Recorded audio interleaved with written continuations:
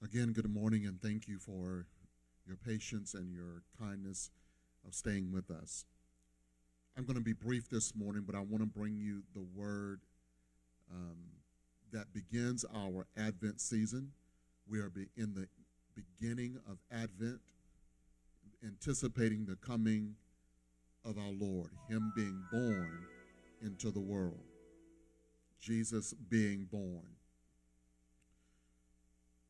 Please remember that I've asked you as you grab your Bibles and get ready to study for a few moments. I've asked you to stay connected to God, number one, staying connected to Him through the disciplines of prayer, Bible study, and devotion. Number two, stay connected to each other. Stay connected to each other making sure we are checking on each other. And we've been praying for those who've been going through some difficult times in their lives. Number three, making sure that you invite someone to at least visit the website or YouTube or our Facebook and get the sermon. We would appreciate it for you, number three, to be connected to others that you know or don't know but giving them the invitation to join us. As we think about the end of the year, do y'all believe we're already on the sixth day of December of 2020?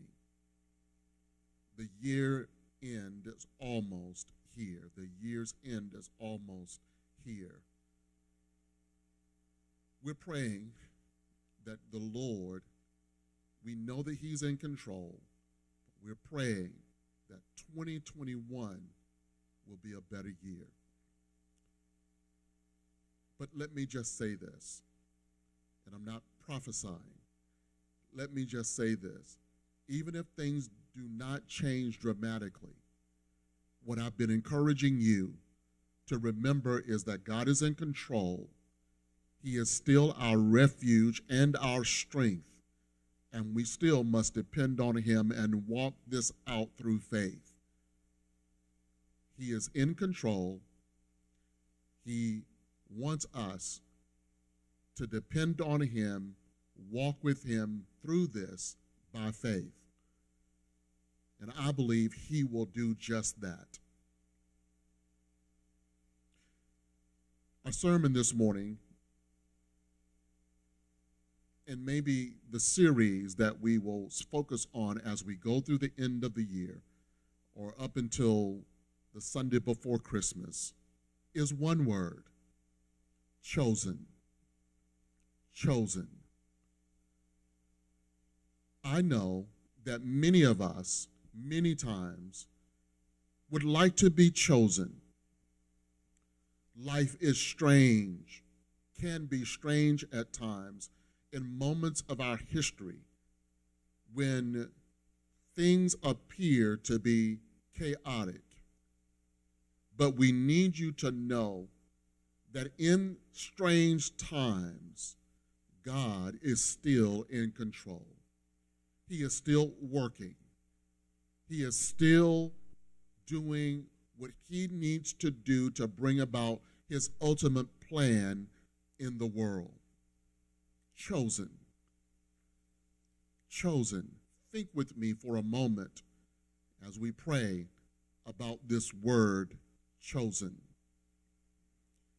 Father, we pray that you would bless your people as they hear your word today, that you would encourage them, that you would speak to their hearts.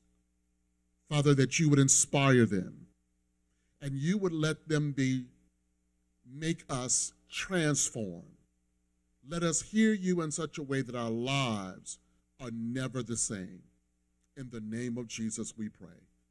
Bless now the proclamation and the hearers in Jesus' name. Amen. Chosen. Luke chapter 1. Luke chapter 1, beginning at verse 26. Listen to the word. Now, in the sixth month, the angel Gabriel the angel Gabriel was sent by God to the city of Galilee named Nazareth to a virgin betrothed to a man whose name was Joseph of the house of David. The virgin's name was Mary. And having come in, the angel said to her, Rejoice, highly favored one. The Lord is with you. Blessed are you among women. But when she saw him, she was troubled at his sayings and considered what manner of greeting was this. Then the angel said to her, Do not be afraid, Mary, for you have found favor with God. And behold, you will conceive in your womb and bring forth a son, and shall call his name Jesus. He will be great, and he and will be called the Son of the Highest. And the Lord God will give him the throne of his father David, and he will reign over the house of Jacob forever. And of his kingdom there will be no end. Chosen. Chosen. Turn over to Matthew. Matthew chapter 1.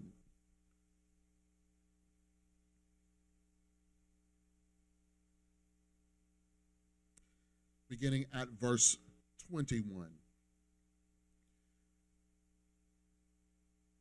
And she shall bring forth a son, and you shall call his name Jesus, for he will save his people from their sins. Now, all this was done that it might be fulfilled, which was spoken by the Lord through the prophet, saying, Behold, an angel I'm sorry, behold, a virgin shall be with child and bear a son, and they shall call his name Emmanuel, which means God with us. And lastly, the prophetic word from the Old Testament, Isaiah chapter 7. Isaiah chapter 7, verse 14. Therefore, the Lord himself will give you a sign. Behold, the virgin shall conceive and bear a son, and shall call his name Emmanuel. And shall call his name Emmanuel. Just for a little while, three things that we will talk about chosen is something that we all like from time to time. Being chosen, being distinguished from someone else, being distinguished or being separated out from someone else. Distinguished, being separated, or being called upon when others are there waiting as well. I want you to understand this morning that this chosen that we think about in the life of this young lady, this young girl named Mary and Joseph, they were chosen by God. They were chosen by God. As you heard me reading from Isaiah and the prophetic scripture says, The Lord Himself, the Lord Himself chooses. The Lord Himself.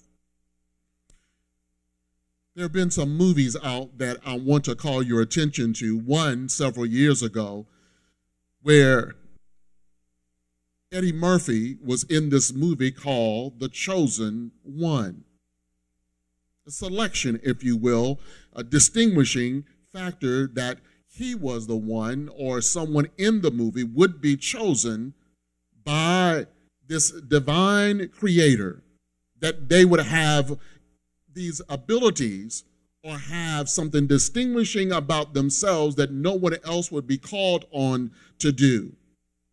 Chosen. We remember the movie The Matrix. You remember Keanu Reeves. He was in the movie The Matrix.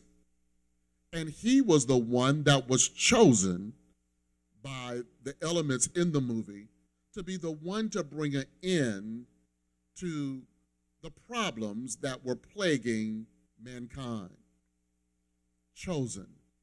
Right now, there's a commercial with Charles Barkley, and he is standing, and this young girl, they're all young, looks like elementary school students, and she chooses Charles, older, but she chooses him. And he starts off by like, I knew she would choose me over you, chosen. And many times, brothers and sisters, we want to be chosen, whether it's a job opportunity, a promotion, or just someone that we want to be attracted to. We want to be chosen. Over these last few weeks, we have seen here in America, the nation has chosen its next leader. And no matter what they say about the voting, he has been chosen by the majority, 80 million people, to be the next leader of America. Chosen. Chosen. We find that this morning so distinguishing something about Mary. God called her and chose her to be the one that would bring into the world Jesus Christ. And I want you to understand this about Mary. She was not chosen when it happened, she was not chosen as a result of anything else other than God Himself. Mary was chosen, if you will, before Mary was even born. Think about it for a moment. God chose her before she was born. The Bible says we are fearfully and wonderfully made. The Bible says he knows the plans that he has for us. The Bible tells us that he knew us before we were in our mother's womb. He already knew, and not just knew us physically, and spiritually that we were going to be, become the children and the heirs to God, but he also knew the path that he wanted us to go on. He knew what he wanted us to do. He knew how he had programmed us or how he had made us, how he had orchestrated our DNA so that we could be what we are, so that when we are chosen, when we realize we are chosen by him, sometimes we allow circumstances to hold us back. God chose. And this morning, brothers and sisters, I want you to know that God chooses us. First of all, He chose us for salvation. He chose us for salvation. He chose us to be the children of God. He chose us because He knew that we would need Him.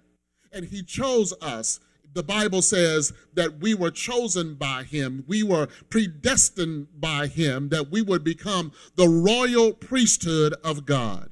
Chosen.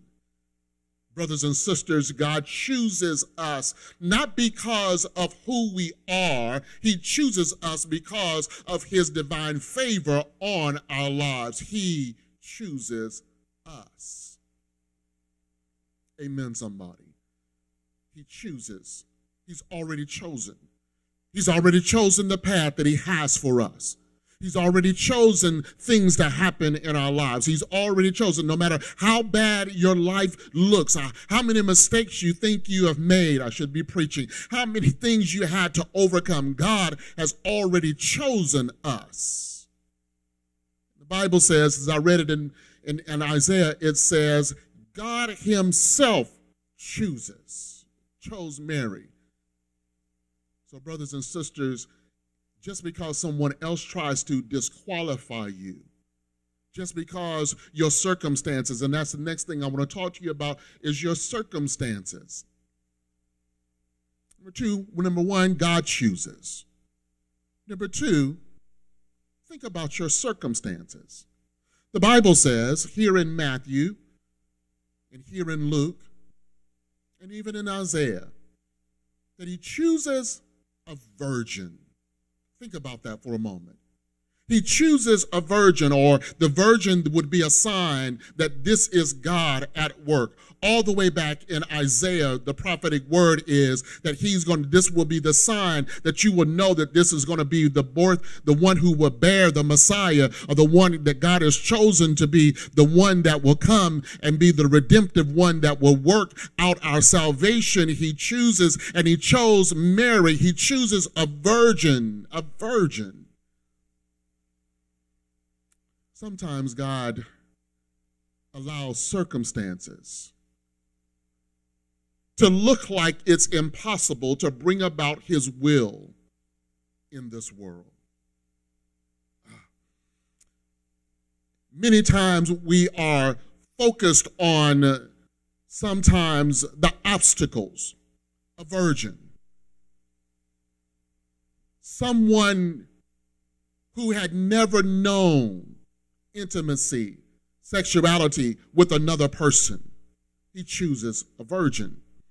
He chooses that which looks impossible. He chooses that which looks like it, it's incomprehensible. He chooses that which looks like it can never happen. But God chooses those things that looks like they will never come to pass. He chooses to bring those and make those work out for our good to bring about what he wants to have happen. When others have disqualified you, when others and circumstances will say it's too late or you've too old or these things are not in place, God still chooses to bring about his work and word in the world. Say amen, somebody. Your circumstances. Don't allow your circumstances to defeat you. Don't allow your present condition to stop your future destiny. Don't allow your present condition to be such that you are thinking more about it than the power of God. Listen, God brings an angel who is dispatched from heaven. The angel is Gabriel, dispatched from heaven to this young girl and tells her she has been chosen, highly favored one. You have been chosen from among the women because God has found favor with you. And I know some of you are saying, I've done too much. My past is so dirty, or my past is so mangled. Even my present, my present situation has caused me to look at my past more and have more conviction about it than I do about the goodness of what God can do in the future. I came to bring you a word this morning that no matter what your circumstances, your present circumstances, your present reality is, it has no bearing on what God wants to do for you and what God will do for you in the future. Number one, God chooses. God chooses, not man. Not man doesn't choose. God will cause men to give you favor, to have favor with you.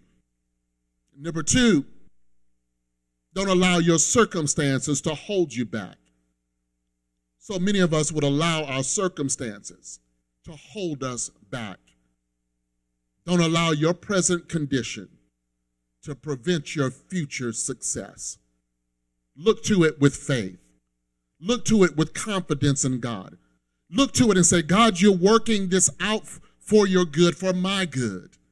God, you're going to bring about something through my present situation or through my past that's going to work out for my good and others' good. Lord, don't miss that. So many times we become myopic and thinking only about ourselves. But God says, I'm working in you so I can bring about a greater reality in the world. Number one, God chooses. It's up to Him. Number two, don't allow your circumstances to hold you back. And number three, finally, know that you will be fruitful in the future. Know that you will be fruitful. that the things that God will do will cause you to bear fruit regardless of your current reality. Just look at the text. Verse 31 of Luke chapter 1 And behold, you will conceive in your womb and bring forth a son. Being fruitful. Being fruitful. God wants to do something amazing so that you can bear fruit. John chapter 15 tells us, without him, we can do nothing. But ultimately, he wants us to bear fruit. Over the last month or so, we talked about gifts.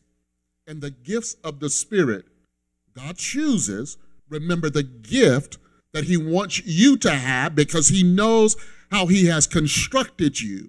He knows the things that you have he's allowed for your past and for your present that will not necessarily be indicators of your future but he will allow those things into your life so that you can have a richer future a richer success in the future so just understand that he wants us he desires for us to be fruitful that's what mary was brothers and sisters God chose her.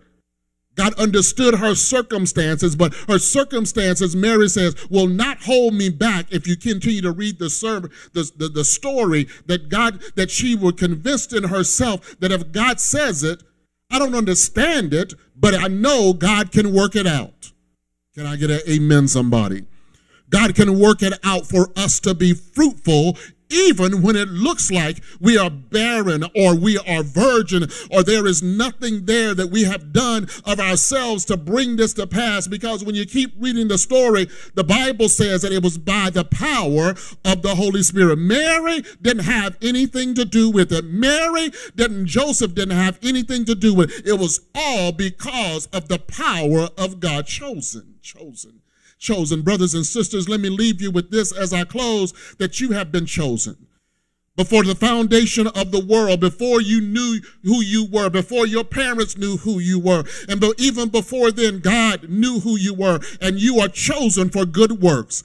All I'm trying to tell you this morning before I leave you and take my seat, I just want you to understand that you have been chosen.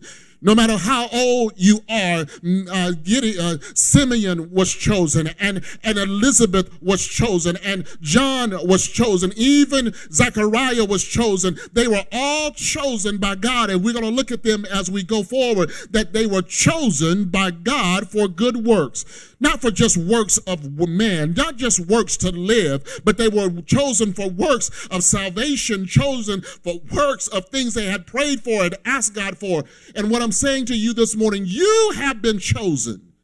You ought to go ahead and, and if you can, touch somebody. If you can, say to yourself, I've been chosen. God has chosen me. God has singled me out. God has re, God has re, put His light on me. God has given me favor. Somehow, what is I'm going through is not going to hold me back for what God has for me. You ought to shout right there. God has chosen you for greater. Can you just get happy about that? For greater, God has chosen you. Chosen. As we go through the next couple of weeks, we're going to look at this aspect of being chosen by God. Mary, a virgin. Circumstances look like it's impossible. A virgin. But God chooses her virginity to work out salvation. No matter what you have gone through. Some of you say, well, she was untainted and, and nothing was wrong with her. But, brothers and sisters, let me tell you God chose Moses. He was tainted. He had done things, but God still chose him. God still uses him. And I'm going to tell you about us as we go through this. So stay with me for the next two or three weeks as we look at our lives and learn some lessons from what God wants to do in this aspect of being chosen. This morning, if you don't know who Jesus is and you've never asked him into your heart, I ask you this morning to give Jesus your heart. Right now, he's choosing you. If you will just open up the door and let him in. God is choosing you if you don't know him in the pardon of your you never ask him into your heart. Here is all you have to pray. Say, Jesus, forgive me of my sins. Cleanse me of my sins. I repent of my sins. I believe that you are the Son of God and that you came and that you lived, you died, and was raised again. And now you sit at the right hand of God.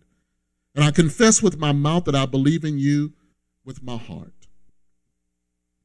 And you said, I shall be saved. I accept you as my Lord and Savior. Amen. If you prayed that prayer, you are now a new believer. But believers need to be, become disciples. So we want you to stay with us. We want you to make sure that you are studying God's word. That's what makes you a disciple, a follower of Jesus Christ a follower, a disciple, one who studies the word, and one who stays with him and let God orchestrate your step, your future, your path, so that you can be what he wants you to be. We're going to pray in a moment for those right now who are struggling with this aspect. How can God use me? Let me remind you, and it is an encouraging word, that you have been chosen. We all have been chosen. We're going to pray. Remind yourself. Say, it's not too late. It's not over. Even though the circumstances and the obstacles look like they are insurmountable, it's not over. God is in control and he will govern my life. Let's pray. Father, I pray for these who have heard your word. Father, let them have the renewedness of spirit to realize they have been chosen. Like Mary for good works or to bring about your word, your works in the world. So we ask you this morning, God, that those who are disappointed and disillusioned and hurt and anxious, that this word will inspire them, that they will somehow understand by your spirit. Give them your spirit that they will understand that they have been chosen for greater. That great things are in their future if they just trust in you. In Jesus' name, amen. God bless you. Thank you for joining us today. And again, we apologize for the interruptions of our internet. Continue to pray. We appreciate that. I pray that you would have a wonderful week, a good week as we push forward in this Advent season to hear what God has to say to us. Thank you again for your, your continued support in your finances, in your giving, and honoring God with your the first fruit of all of your increases. And we know that God tells us that if we would give to Him, He would open the windows of heaven and pour out us out a blessing that we don't have room enough to receive. So remember those five ways to give PayPal, Cash App. You can have it automatically deducted. You can go to our website or you can bring it by the church. Any of those ways, we are thankful. We are so grateful on behalf of the Board of Counselors and all of us. We are thankful for you continuing to support and honor God with your giving, with your substance that God has allowed you to have. God bless you. Have a great week. Please be mindful of the discipline or the discipleship classes that we are having that we want you to be a part of. God bless you. Have a great week. Say this with me be strong, be bold, and stay encouraged. Be bold, be strong, and stay encouraged. The Lord bless you. I love you until we see each other again. The Lord be with you.